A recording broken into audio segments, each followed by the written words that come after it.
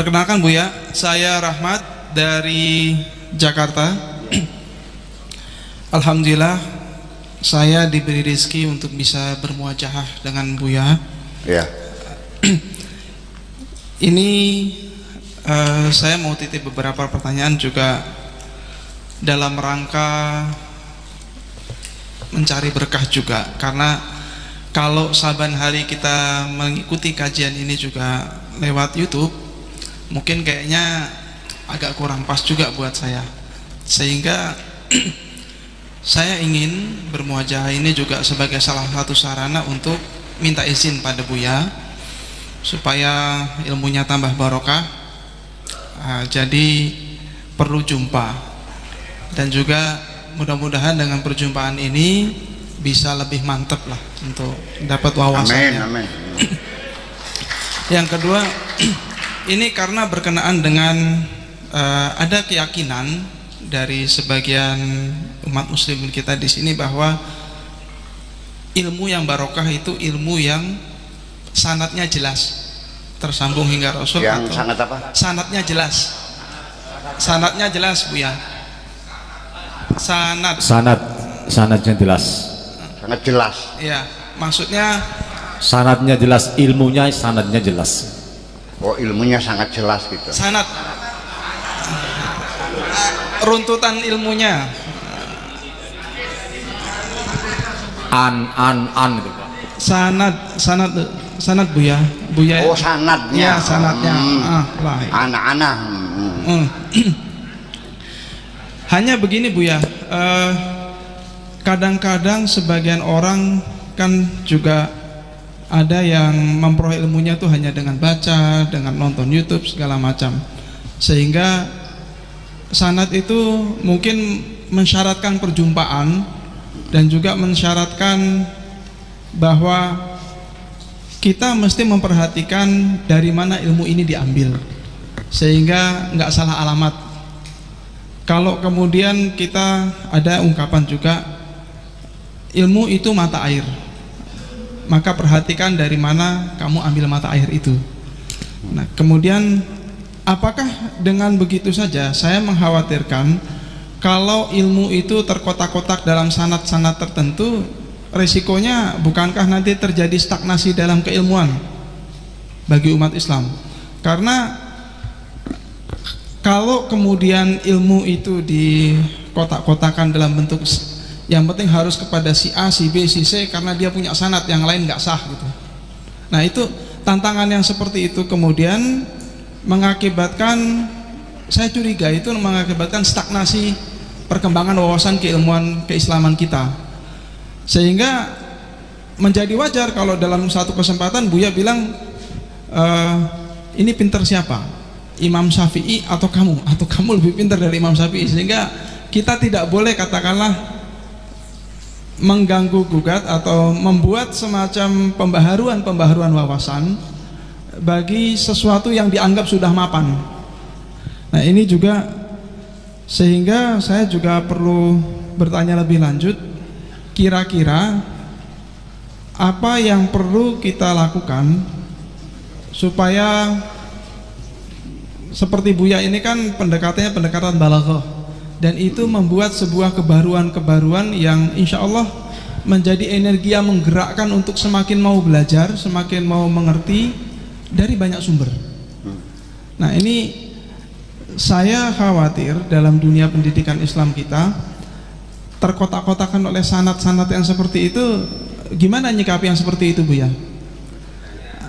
Oke.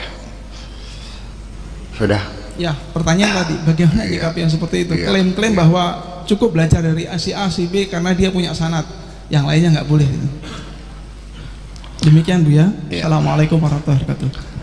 Saya ini paling males kalau baca hadis. Ini salaman an Abi Hurairah an an an, an Hasan an hadisnya masa segini. Saya nggak saya baca langsung hadisnya aja. Ngapain? Iya. Dan metodologi tentang sanad itu sendiri, Imam Bukhari menseleksi berdasarkan sanad dari sisi dapat kejujuran seorang rawi ya kan dari mana dari kata orang kan kadang-kadang nggak ketemu bagaimana kita bisa menjustifikasikan keterangan orang lain tentang kejujuran? Saya sering berteman bertahun-tahun ditipu juga saya kok.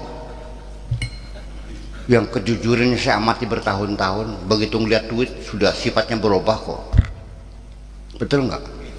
Ya iya jadi itu kan tetap masih dugaan. Jadi metodologi sanad itu sendiri juga saya sebetulnya belum belum apa namanya belum menerima seluruhnya. Ya kan? Saya lebih mengutamakan dirosatun nusus langsung studi tekstual. Dari situ akan ketahuan mana hadis palsu mana bukan hadis palsu. Dari sisi pendekatan terminologi.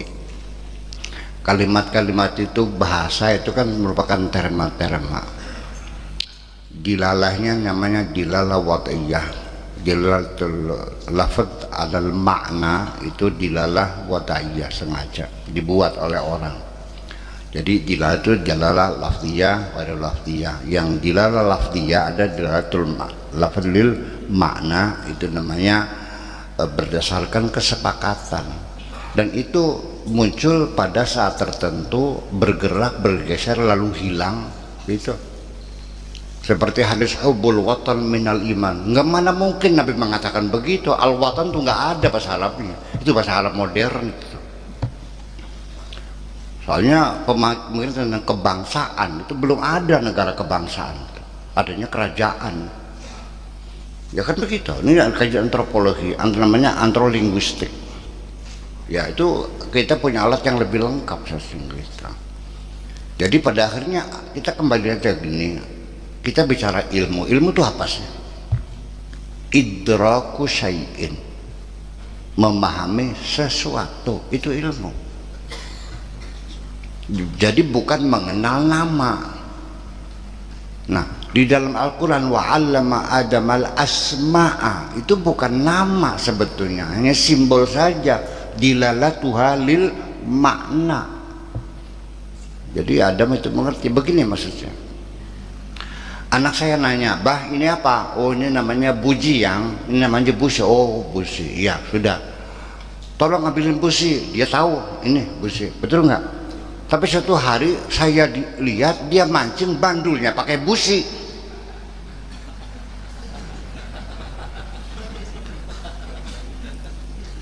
dibikin buat bandul pancing berarti dia tahu maknanya tahu busi enggak maknanya tahu enggak enggak itu masalahnya nah ini kita sering kita terjebak mengutakan kalimat-kalimat yang berulang-ulang seperti mawadah, sakinah, rahmah, takwa segala macam. Maknanya apa? Enggak tahu. Konyol kan? Ya. Nah, itulah makanya. Jadi persoalan sana segala macam ya itu begini. Ilmu itu saya menolak ilmu agama, ilmu umum, menolak. Mungkin kalau ilmunya agama ilmu agama ilmu akhirat mungkin. Masih bisa saya tolerir ada ilmu agama ilmu akhirat. Tetapi bukan dari bentuk agamanya tapi motivasi dari orang yang mencarinya sendiri. Daripada pemanfaatannya. Kalau ilmu itu dimanfaatkan untuk kepentingan dunia namanya ilmu dunia kalau dipakai untuk kepentingan akhirat namanya ilmu akhirat sekarang tafsir hadis segala macam jadi mubalik kalau pasang tarif ilmu apa namanya? Seorang dokter kayak dokter Idris jadi barang tuh ya kenal ya orangnya baik banget. Uh, saya pikir dia itu menghormati saya karena saya kiai sehingga setiap saya berobat nggak pernah dia minta upah. Berapa dok kiai ambil aja lah. Ini obatnya. Malah dikasih obatnya lagi gratis. Ternyata bukan kepada saya saja. Karena saya pernah melihatnya langsung. Orang perempuan orang miskin udah sarungnya juga ada tayangan ya. Tahu tayangan? Udah berkarat-karat gitu. Kemudian bentingnya gue betupet gitu buka benting. Pinten dok berapa dok? Udah bos udah udah udah. Nih salaman aja. Nih balik lagi buat ongkos nih oh begitu jadi dia menggunakan ilmu kedokteran untuk ibadah. Ilmu dunia pun akhirat. Itu saya setuju. Tapi ilmu ilmu agama ilmu umum masih ilmu agama itu seperti apa? Cek sebutkan ilmu agama itu apa.